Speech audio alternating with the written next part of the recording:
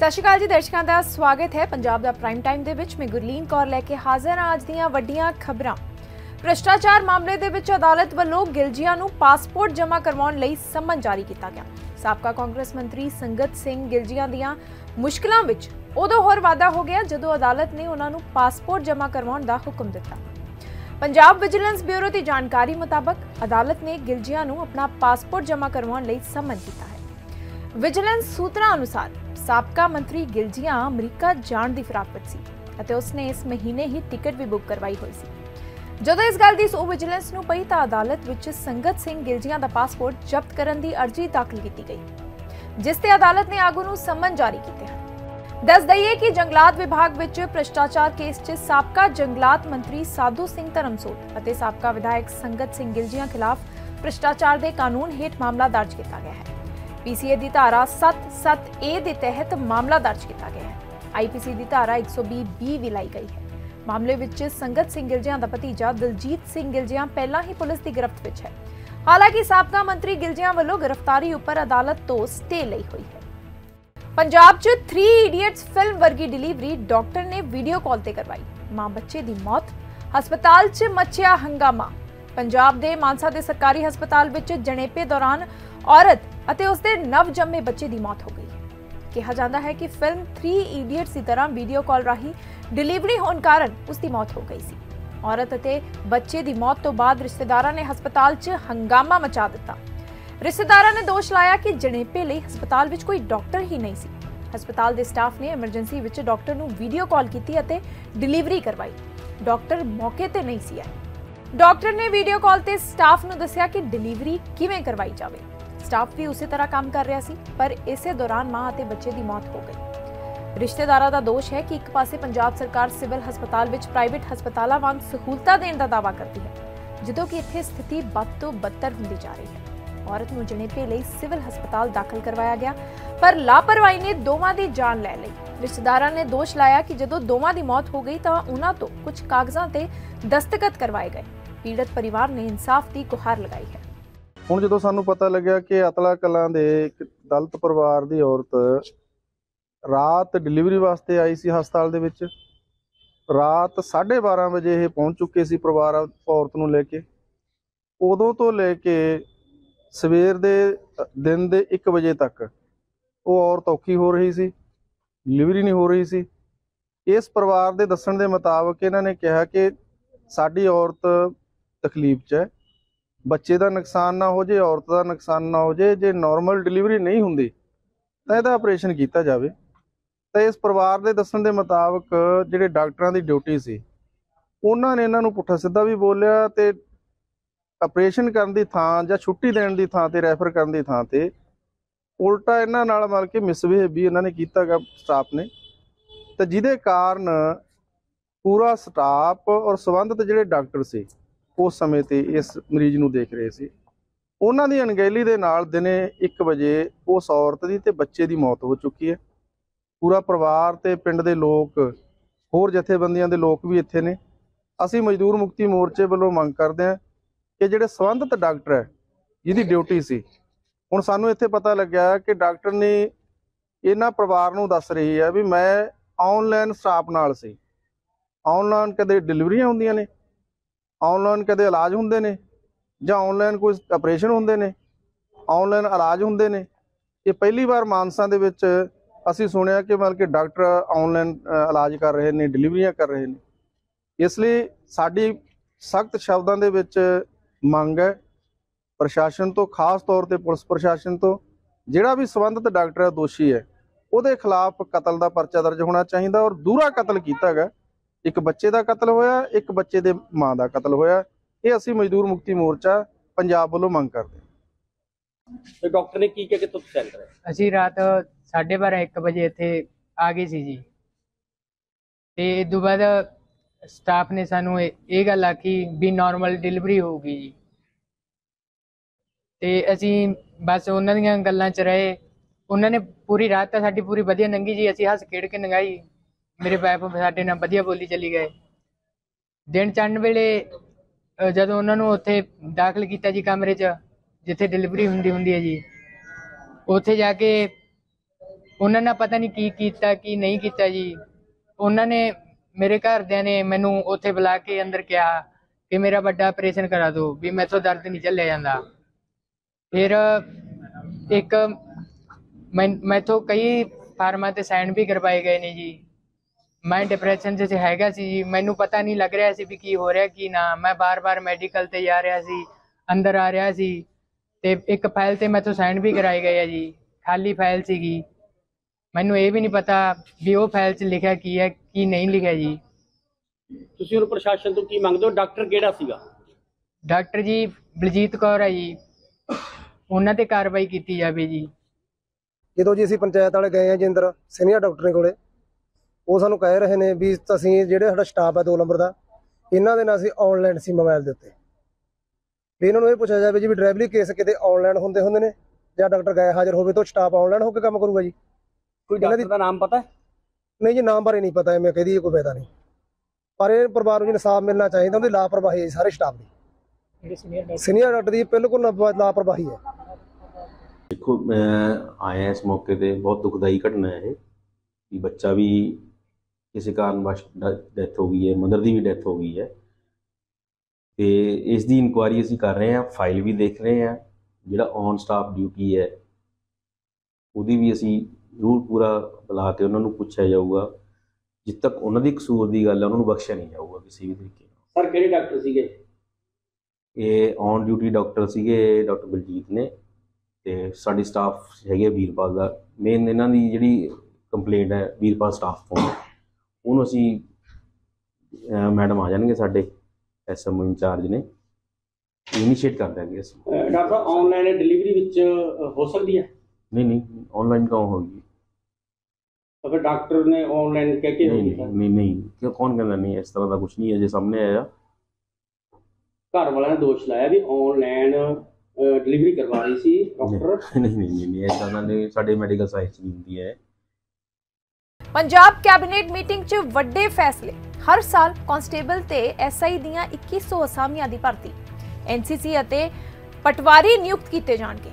ਸੋਮਵਾਰ ਨੂੰ ਪੰਜਾਬ ਕੈਬਨਿਟ ਦੀ ਮੀਟਿੰਗ ਹੋਈ, ਜਿਸ ਵਿੱਚ ਕਈ ਵੱਡੇ ਫੈਸਲੇ ਲਏ ਗਏ। ਮੀਟਿੰਗ ਵਿੱਚ ਮੁੱਖ ਤੌਰ ਤੇ ਨੌਜਵਾਨਾਂ ਨੂੰ ਰੋਜ਼ਗਾਰ ਮੁਹੱਈਆ ਕਰਵਾਉਣ ਦੇ ਮੁੱਦੇ ਤੇ ਚਰਚਾ ਕੀਤੀ ਗਈ। ਮੀਟਿੰਗ ਤੋਂ ਬਾਅਦ ਵਿੱਤ ਮੰਤਰੀ ਹਰਪਾਲ ਸਿੰਘ ਚੀਮਾ ਨੇ ਦੱਸਿਆ ਕਿ ਪੰਜਾਬ ਵਿੱਚ ਹੁਣ ਹਰ ਸਾਲ 1800 ਕਾਂਸਟੇਬਲ ਅਤੇ 300 ਸਬ ਇੰਸਪੈਕਟਰਾਂ ਦੀ ਭਰਤੀ ਕੀਤੀ ਜਾਵੇਗੀ।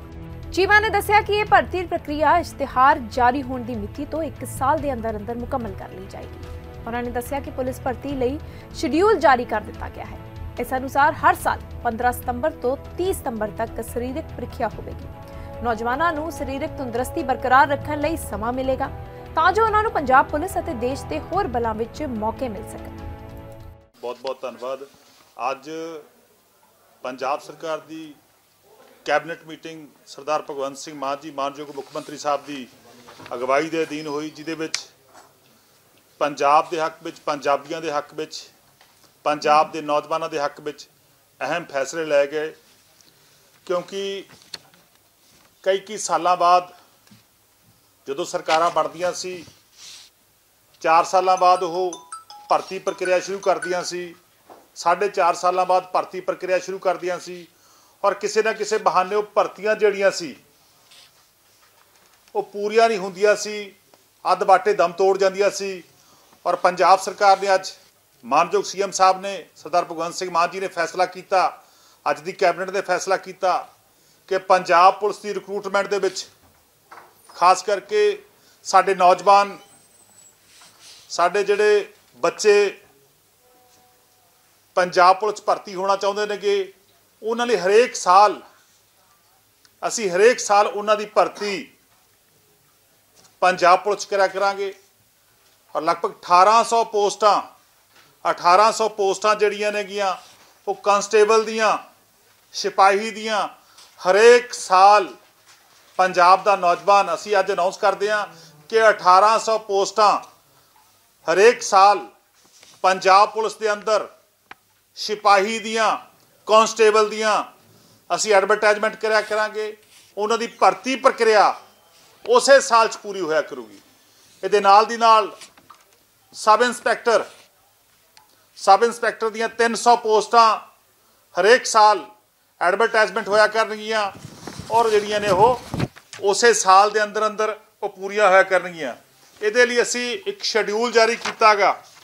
ਇੱਕ ਸ਼ੈਡਿਊਲ ਜਾਰੀ ਕੀਤਾਗਾ ਕਿ ਹਰੇਕ ਸਾਲ ਸਤੰਬਰ ਦੇ ਮਹੀਨੇ, ਹਰੇਕ ਸਾਲ ਸਤੰਬਰ ਦੇ ਮਹੀਨੇ 15 ਸਤੰਬਰ ਤੋਂ ਲੈ ਕੇ 30 ਸਤੰਬਰ ਤੱਕ ਫਿਜ਼ੀਕਲ ਟੈਸਟ ਹੋਇਆ ਕਰੂਗਾ, ਤਾਂ ਕਿ ਸਾਡੇ ਨੌਜਵਾਨ ਜਿਹੜੇ ਕਿ ਚਾਹੇ ਉਹ ਦੇਸ਼ ਦੀ ਫੌਜ ਦੇ ਵਿੱਚ ਭਰਤੀ ਹੋਣ ਦੀ ਗੱਲ ਕਰਨ, ਚਾਹੇ ਪੰਜਾਬ ਪੁਲਿਸ ਦੀ ਭਰਤੀ ਹੋਣ ਦੀ ਗੱਲ, ਉਹਨਾਂ ਲਈ ਇੱਕ ਸਮਾਂ ਨਿਰਧਾਰਤ ਕੀਤਾ ਗਿਆ ਕਿ ਉਹ ਆਪਣੀ ਫਿਜ਼ੀਕਲ ਫਿਟਨੈਸ ਰੱਖ ਸਕਣ ਔਰ 15 ਤੋਂ ਲੈ ਕੇ 15 ਸਤੰਬਰ ਤੋਂ ਲੈ ਕੇ 30 ਸਤੰਬਰ ਤੱਕ ਹਰੇਕ ਸਾਲ ਪੰਜਾਬ ਪੁਲਿਸ ਦਾ ਫਿਜ਼ੀਕਲ ਟੈਸਟ ਹੋਇਆ ਕਰੂਗਾ ਔਰ ਹਰੇਕ ਸਾਲ ਇਹ ਪੋਸਟਾਂ 1800 ਪੋਸਟਾਂ ਜਿਹੜੀਆਂ ਨੇਗੀਆਂ, ਉਹ ਸਿਪਾਹੀਆਂ ਦੀਆਂ ਔਰ 300 ਪੋਸਟਾਂ ਜਿਹੜੀਆਂ ਨੇਗੀਆਂ, ਉਹ ਸਬ ਇੰਸਪੈਕਟਰ ਦੀਆਂ ਪੰਜਾਬ ਪੁਲਿਸ ਦੇ ਅੰਦਰ ਐਡਵਰਟਾਈਜ਼ਮੈਂਟ ਹੋਇਆ ਕਰਨਗੀਆਂ, ਇਸ਼ਤਿਹਾਰ ਜਾਰੀ ਹੋਇਆ ਕਰੂਗਾ ਔਰ ਉਹਦੀ ਇੱਕ ਸਾਲ ਦੇ ਅੰਦਰ ਅੰਦਰ ਭਰਤੀ ਪ੍ਰਕਿਰਿਆ ਮੁਕੰਮਲ ਹੋਊਗੀ।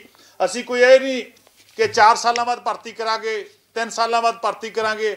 ਸਾਡਾ ਫੈਸਲਾ ਕੀਤਾ ਅੱਜ ਸਰਦਾਰ ਭਗਵੰਤ ਸਿੰਘ ਮਾਨ ਜੀ ਨੇ ਕਿ ਹਰੇਕ ਸਾਲ 1800 ਪੋਸਟਾਂ ਕਨਸਟੇਬਲ ਦੀਆਂ ਔਰ 300 ਪੋਸਟਾਂ ਸਬ ਇੰਸਪੈਕਟਰ ਦੀਆਂ ਪੰਜਾਬ ਪੁਲਿਸ ਦੇ ਅੰਦਰ ਭਰਤੀ ਹੋਣਗੀਆਂ।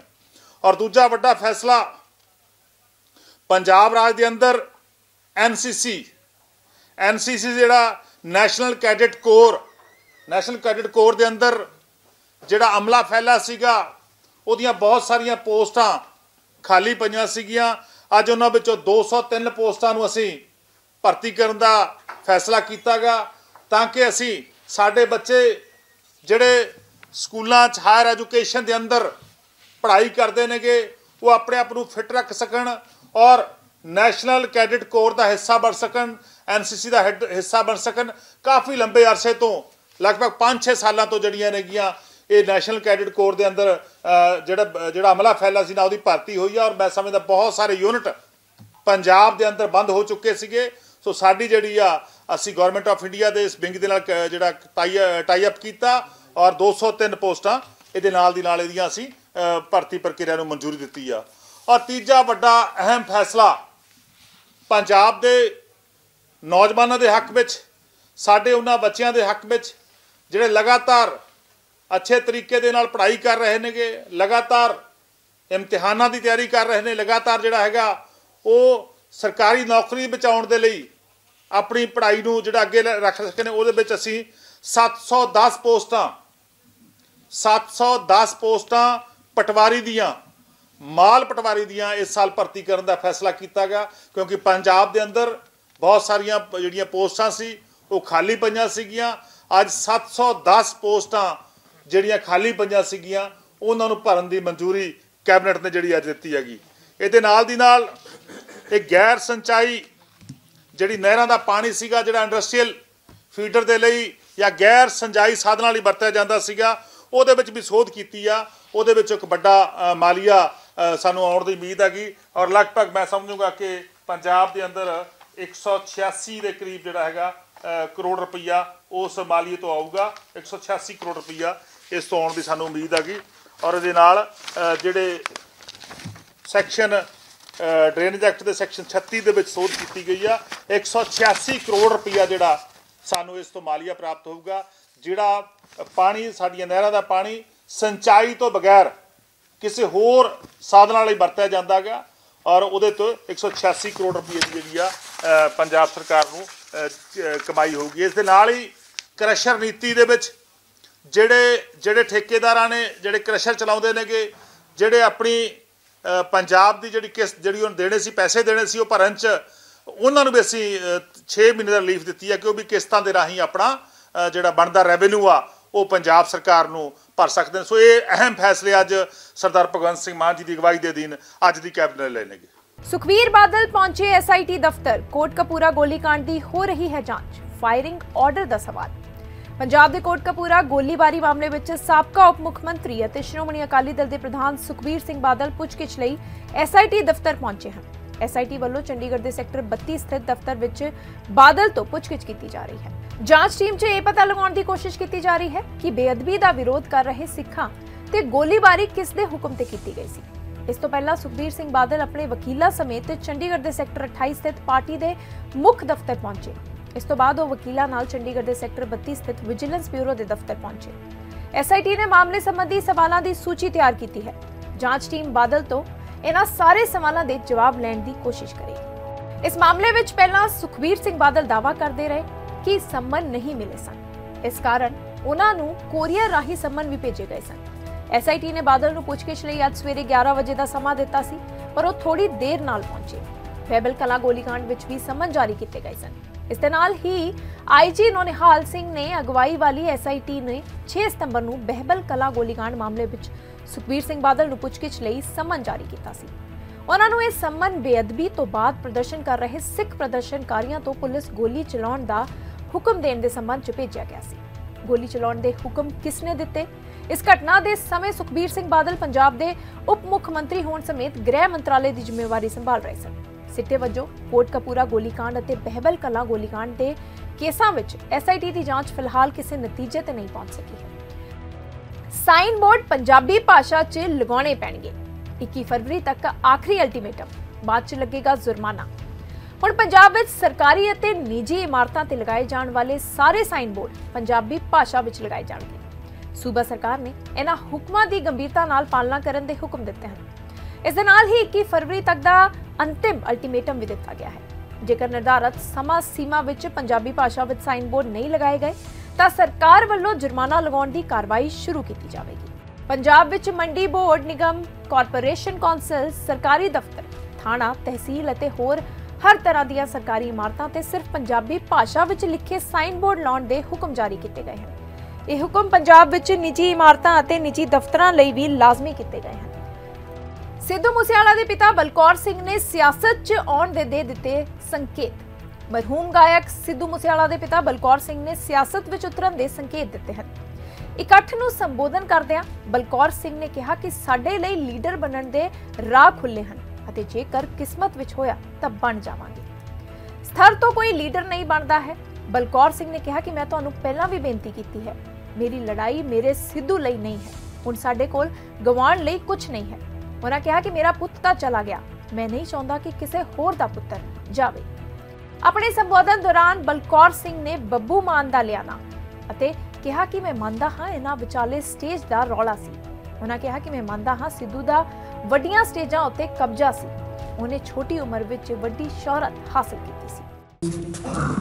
ਬਹੁਤ ਦਰਾਡੇ ਇਲਾਕਿਆਂ ਚੋਂ ਪਹੁੰਚੀ ਸਾਰੀ ਸਾਧ ਸੰਗਤ ਸਭ ਤੋਂ ਪਹਿਲਾਂ ਫਤਿਹ ਦੀ ਸਾਂਝ ਪਾਈਏ। ਵਾਹਿਗੁਰੂ ਜੀ ਕਾ ਖਾਲਸਾ, ਸ੍ਰੀ ਵਾਹਿਗੁਰੂ ਜੀ ਕੀ ਫਤਿਹ। ਮੈਂ ਤੁਹਾਡਾ ਸਭ ਤੋਂ ਪਹਿਲਾਂ ਧੰਨਵਾਦ ਹੀ ਕਰ ਸਕਦਾ। ਹਰ ਇੱਕ ਸੰਡੇ ਦੀ ਤਰ੍ਹਾਂ ਜੋ ਤੁਹਾਡੇ ਵਿੱਚ ਰੋਸ ਹੈ, ਉਵੇਂ ਦੀ ਉਵੇਂ ਵਰਕਰ ਬਾਕੀ ਜਿਵੇਂ ਜਿਵੇਂ ਘਟਨਾਵਾਂ ਹੋ ਰਹੀਆਂ ਨੇ, ਉਸ ਤਰੀਕੇ ਦੇ ਨਾਲ ਜਿਹੜੀ ਤੁਹਾਡੀ ਚਿੰਤਾ ਤੁਹਾਡੇ ਮੱਥੇ ਤੋਂ ਸਾਫ਼ ਫੜੀ ਜਾ ਸਕਦੀ ਹੈ। ਪੰਜਾਬ ਸਾਡਾ ਕਿਹੜੇ ਪਾਸੇ ਨੂੰ ਜਾ ਰਿਹਾ? ਮੈਂ ਪਹਿਲੇ ਦਿਨ ਹੀ ਇਹ ਬੇਨਤੀ ਕਰੀ ਸੀ ਸਾਰੇ ਕਿ ਕਵਾਂ ਬਦਮਾਸ਼ ਭਰਾ ਕਵਾਂ ਗੈਂਗਸਟਰ ਭਰਾ ਕਵਾਂ ਵੀ ਵੀਰੋ ਮੇਰੇ ਪੁੱਤਰ ਨੂੰ ਤੁਸੀਂ ਆਖਰੀ ਮੰਨ ਲਓ। ਜੇ ਤੁਹਾਡਾ ਗੁੱਸਾ ਠੰਡਾ ਹੋ ਗਿਆ, ਤੁਸੀਂ ਹੁਣ ਕਿਸੇ ਦਾ ਜਵਾਬ ਨਾ ਮੰਗੋ ਤੁਸੀਂ ਪੈਸਾ ਕਮਾਉਣਾ ਹੈ, ਰੌਲੇ ਪਾਉਂਦੇ ਆਉਂਦੇ ਨੇ ਸਾਨੂੰ ਬਲੀ ਦੇ ਬੱਕਰੇ ਕਿਉਂ ਬਣਾਈ ਜਾਂਦੇ? ਅਸੀਂ ਬੜੀ ਔਖੇ ਸੌਖੇ ਹੋ ਕੇ ਬੱਚਿਆਂ ਨੂੰ ਇੱਥੋਂ ਤੱਕ ਲੈ ਕੇ ਆਉਂਦੇ ਆ ਡਿਗਰੀਆਂ ਕਰਾਉਂਦੇ ਆ ਪੜਾਉਂਦੇ ਆ ਸਾਰੀ ਜ਼ਿੰਦਗੀ ਸਾਡੀਆਂ, ਮੈਂ ਤੁਹਾਨੂੰ ਆਪਣੀ ਗੱਲ ਦੱਸਾਂ, ਦੋ ਪੀੜ੍ਹੀਆਂ ਸਾਡੀਆਂ ਲੰਘੀਆਂ 40 50 ਸਾਲ ਮੇਰੀ ਮਾਂ ਨੇ ਕਠਿਨ ਮਿਹਨਤ ਕੀਤੀ, ਉਸ ਤੋਂ ਬਾਅਦ ਮੈਂ 55 56 ਸਾਲ ਗਾਲ ਦੀ ਜ਼ਿੰਦਗੀ ਦੇ ਤਾਂ ਜਾ ਕੇ ਉੱਤੇ ਇੱਕ ਬੱਚਾ ਪ੍ਰਵਾਨ ਚੜਿਆ ਸੀ। ਔਰ ਤੁਸੀਂ ਬੜੀ ਆਸਾਨੀ ਦੇ ਨਾਲ ਬੜੇ ਘਨਾਉਣੇ ਫਰਾਦ ਲਾ ਲਾ ਕੇ ਉਹਨੇ ਜੇ ਕਰਤਾ, ਉਹਨੇ ਉਹ ਕਰਤਾ। ਉਹਦੀ ਮਰਨ ਤੋਂ ਬਾਅਦ ਵੀ ਛਵੀ ਖਰਾਬ ਕਰਨ ਦੀ ਕੋਸ਼ਿਸ਼ਾਂ ਤੁਸੀਂ ਅੱਜ ਵੀ ਲੱਗੇ ਹੋਏ ਹੋ। ਉਹ ਇਹ ਕਰਦਾ ਸੀ, ਉਹਦੇ ਇਹਦੇ ਨਾਲ ਲਿੰਕ ਸੀ। ਫਿਰ ਉਹ 20 22 ਸਾਲ ਦਾ ਬੱਚਾ। ਜਿਹਦੇ ਪਿੱਛੇ ਬਦਮਾਸ਼ ਵੀ ਪੈ ਜਾਣ। ਉਹਨੂੰ ਕੋਈ ਪ੍ਰਸ਼ਾਸਨ ਵੱਲੋਂ ਵੀ ਕੋਈ ਖਾਸ ਸਹੂਲਤ ਨਾ ਮਿਲੇ। ਘਰੋਂ ਵੀ ਕੋਈ ਉਹਦਾ ਬੰਦਾ ਕੋਈ ਸਪੋਰਟਰ ਨਾ ਹੋਵੇ। ਤਾਂ ਕੀ ਕਰੂਗਾ ਉਹ ਕਲਾ ਉਹਦੇ ਕੋਲੇ ਸੀਗੀ। ਕਿਵੇਂ ਨਾ ਕਿਵੇਂ ਪ੍ਰਮਾਤਮਾ ਦਾ ਨਾਮ ਲੈ ਕੇ ਉਹ ਲੱਗਾ ਰਿਹਾ, ਉਹ ਆਪਣੇ ਮਿਸ਼ਨ ਦੇ ਵਿੱਚ ਕਾਮਯਾਬ ਹੋਇਆ। ਦੇਸ਼ ਵੀ ਬਲਕਿ ਵਿਦੇਸ਼ਾਂ ਦੇ ਵਿੱਚ ਵੀ ਆਪਣੀ ਕਲਮ ਦਾ ਆਪਣੀ ਆਵਾਜ਼ ਦਾ ਲੋਹਾ ਬਣਵਾਇਆ ਔਰ ਅੱਜ ਤੁਸੀਂ ਇਸ ਗੱਲ ਦੇ ਗਵਾਹ ਬੈਠੇ ਹੋ ਸਾਰੇ। ਵੀ ਉਹਨੇ ਆਪਣੀ ਮਿਹਨਤ ਦੇ ਨਾਲ ਬਾਹਰ ਹੈ ਜਿਹੜੀ ਅੱਜ ਵੀ ਸਾਡੀ ਬਿਲਬੋਰਡ ਤੇ ਚੱਲਦੀ ਹੈ, ਅੱਜ ਤੱਕ ਕਦੇ ਕੋਈ ਧਾਰਮ ਧਾਰਮਿਕ ਗਾਣਾ ਇਸ ਲੈਵਲ ਦੇ ਉੱਤੇ ਕਦੇ ਪਹੁੰਚੇ ਹੋਏ ਤਾਂ ਤੁਸੀਂ ਸਰਚ ਮਾਰ ਕੇ ਦੇਖੋ ਉਹਦੀ ਇਹ ਪਹੁੰਚ ਸੀ। ਮੈਂ ਯੋਗੇ ਗਿਆ।